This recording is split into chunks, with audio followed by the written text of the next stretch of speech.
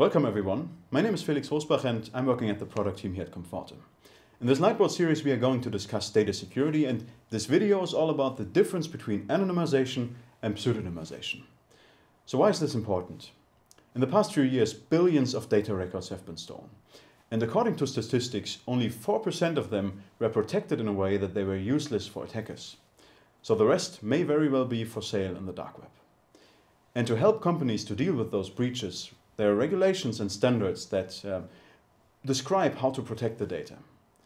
While a few of them are fairly specific when it comes to describing the protection methods, most of them are pretty vague. And anonymization and pseudonymization are in the broad discussion since they appeared in GDPR. So what is the difference? The difference between pseudonymization and anonymization is basically all about the ability to de-identify personal information. So let's talk about anonymization first. When anonymized, data is changed in a way that the individual can no longer be identified. You can do that, for example, by masking or deletion. So one benefit of anonymization is that the data is not considered personal identifiable information anymore, and you can use it in any way you want. The problem of anonymization is that it's a risky thing. While it sounds fairly simple, in real life um, you have to make sure that there is no a correlation between different databases that uh, allows the identification of an individual and that you change the data in a way that it's really anonymizing um, that personal identifiable information.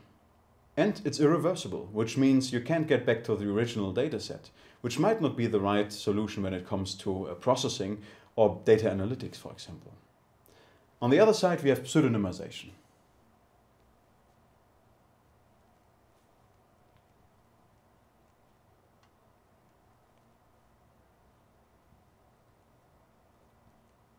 When pseudonymized, data is processed in a way that it cannot be attributed to a specific person without the use of additional information. So data is only then considered really pseudonymized when you keep this information, this secret, separate from the data. As pseudonymization is reversible, it is still considered personal identifiable information and you have to have consent to use that data. But the good thing is, according to GDPR, if the data is protected with strong protection methods, you don't have to disclose a breach if the data gets stolen. So there are many ways to implement both techniques.